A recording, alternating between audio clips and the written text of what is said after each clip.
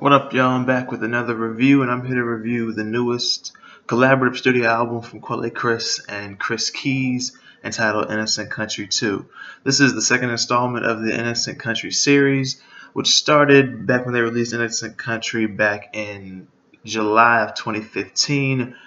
Um, yeah, Quelle Chris has been one of my favorite artists for the last three years now. That, uh, what was the project? Being you is great. I wish I could be you more often. Really enjoyed that project. Then in 2018, he dropped Everything's Fine with his wife, Jean Grae, which is very critically acclaimed, which I still need to go back and listen to because I want to like that album more than I do because I know it's great, but for some reason it's not clicking with me the same way that it is with everybody else. Then 2019, he dropped uh, he dropped Guns, which was my third favorite project of 2019. So he's been more than consistent, and I was really excited to hear this project and get some more Chris Keys uh, production flowing through my ears. And let's go ahead and get right into this. The first track is the intro slash recap. I just really love the cinematic vibe that this brings to the album, and at least in the start. Uh, it's just a recap of season one of, of Innocent Country. Then the second track is outro slash honest, which I guess would be the season one finale uh, of Innocent Country. Which that's going to make it really interesting going back to listen to Innocent Country and see how cohesive that is with uh, the beginning of uh, Innocent Country 2. Fe this is uh, featuring Marcela Arguello. I believe that's how you pronounce it. I can't read my own handwriting sometimes. Very smooth beat. Um, Quelle is rapping about this girl that switched up on him and how, um, like, her children call him daddy now, but she tells them to stop doing that. And I, it just seems like she's being real petty, but uh, she left a very belligerent ass voicemail on man's phone. Um, I felt when she said though you're posting stupid ass opinions on Twitter. Like I felt that. I felt that. Like at home. Um, and towards the end of it, like she would, uh, there was a voicemail that said, the part of the voicemail that said, well, the answering machine that said, you have zero new messages and zero time left. Please hold as the old you dies. Um, and please record the message for the new you. And that's when Innocent Country 2 begins. Um, and she says, Innocent Country 2 begins now. Thank you for choosing life. It kind of reminds me of the Midnight Marauders skit with a Tribe Called Quest. Track number three, Living Happy, the single to promote this project. One of two, I want to say, featuring Joseph Chill- Chilliams and Cavalier. Shout out to Joseph Chilliams. Dude is funny as hell. Um, I remember getting into him on, I think it was West Side Story off of Saba's Bucket List project. Um, but yeah, just looking back at the old days, back when he was living broke when he was feeling good and work was kind of play. And even with all that, like he wouldn't change anything about it. And um, he said his uncle said to live happy, you just gotta let your feelings go. And what's this quote right here? Um, for when the white black ratios look like dominoes. Quelle said that it was it was part of a full lyric, but um, a part of the verse. But I I chopped that up into that part. Um, and Chilliams is just smooth on the beat. He's just focused on con- to, hmm, continuing to build. And Cav, of course, is cool too. Just a real feel good track, honestly. The next track, Sacred Safe, featuring Merrill Garbus, Cavalier, and Homeboy Sandman. Um,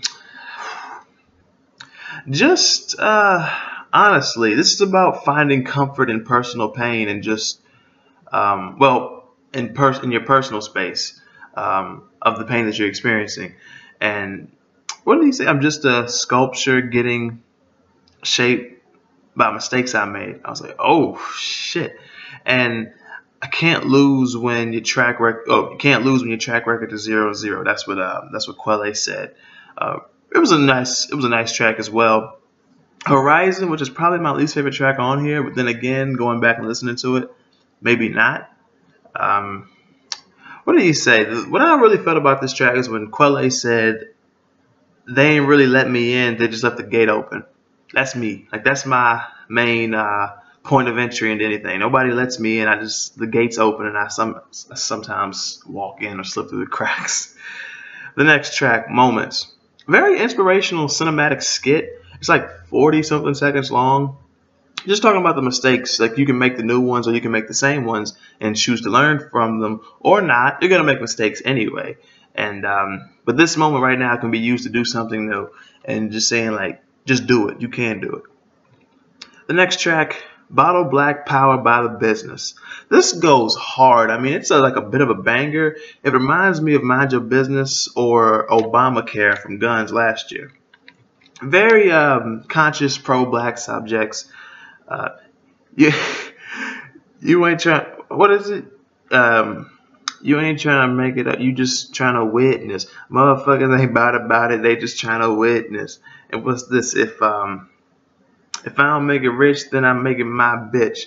Niggas trying to battle black power by the business. Like just the flow was really nice, and with this, like I said, hard hitting banger, um, bit of a banger beat, it was just really fun to listen to. Now, okay, here we go. Cause the next track, Grease from the Elbows. The chorus seems a bit off, like off key, but it fits still. Um, oh, this is also featuring Pink Siifu, Siifu, and Billy Woods. Uh, what did Quelle Chris say? um, another cool track but at the end, this girl, you know, this guy's talking to this girl. He's saying like, "Yo, be happy, smile. Like when um, I can make black women, like when they smile, they laugh, and I could be a part of that." And he asked her like, "Have you ever heard of Quelle Chris?" And she said, "No, that's some, that's some old made up nonsense." And he was like, "Oh, okay, you uh, you behind the times." yeah, I guess so. track number nine. I believe that's track number nine. But the next track that I'm going to talk about. Black Twitter featuring Mose L and Nelson Mandela. Just black, black, black, black. Black is beautiful.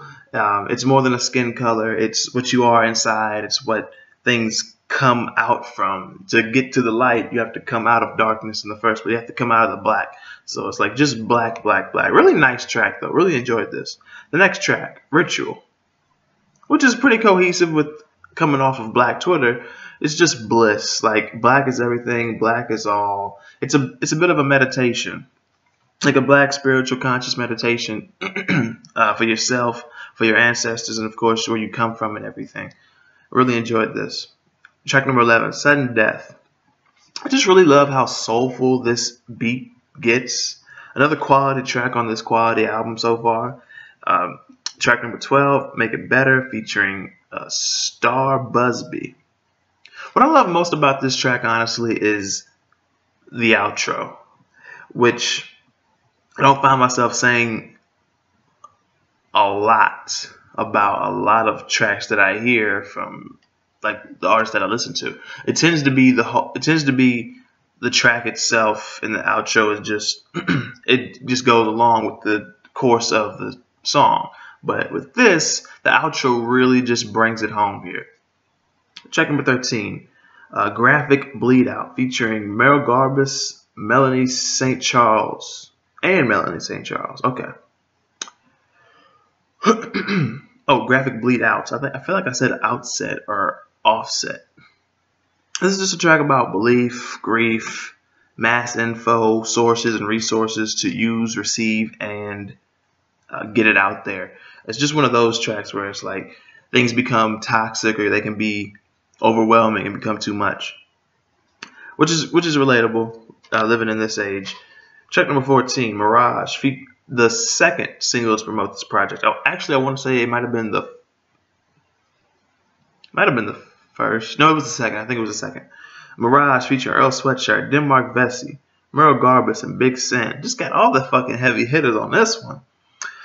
And with this track, like uh, Make It Better, the outro, Sen speech just really brings it home. Like just saying like these are challenging, un- these are challenging, interesting, never seen before times, and um, but just keep going. But be wise and kind of take a little caution, but don't take it too slow though. and get left behind. Really, really enjoyed this track. Track number 15, When You Fall, featuring Nappy Nina, Fresh Daily, and I'm gonna say it's Phil. It's five I L L, so I'm gonna go with Phil or five L maybe. Um, again, like just get up, keep going, keep showing up. Um, taking the third way can feel lonely, unfulfilling, but when you fall back, just know we got your back. Really enjoy a track like this. Uh, and it's a track about growth as well. And the last track, FIFO Asa slash credits. It's cool. It could have been left off. It doesn't add or take away to the album at all. Um, but it's the last track on the album. Um, and what can I say, man? Another quality project with Quelle Chris's name attached to it.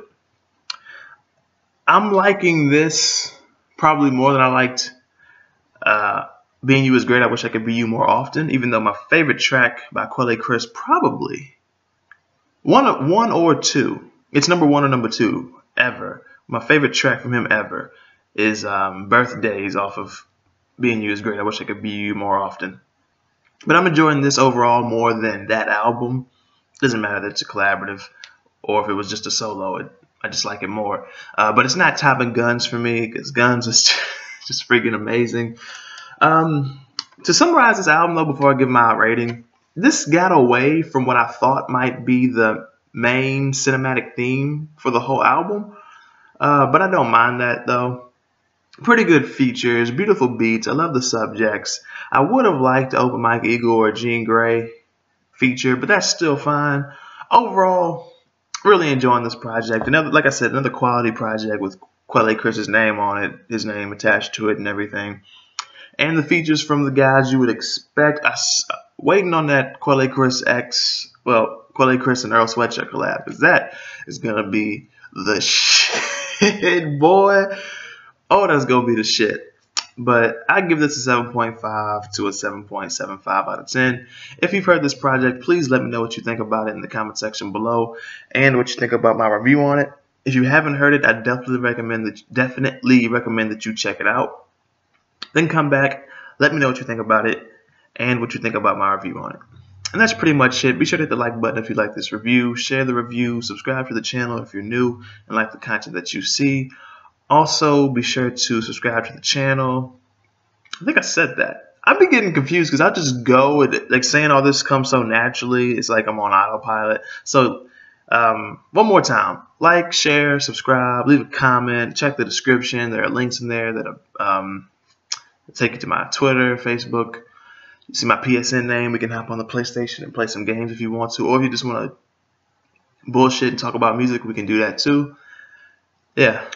And that's pretty much it. 7.5 to 7.5, 7.75. Thank you, Quelle, for another quality project. Thank you, Mello Music Group, for just being my favorite label for the past four years. And yeah, I will see all, all of y'all next time.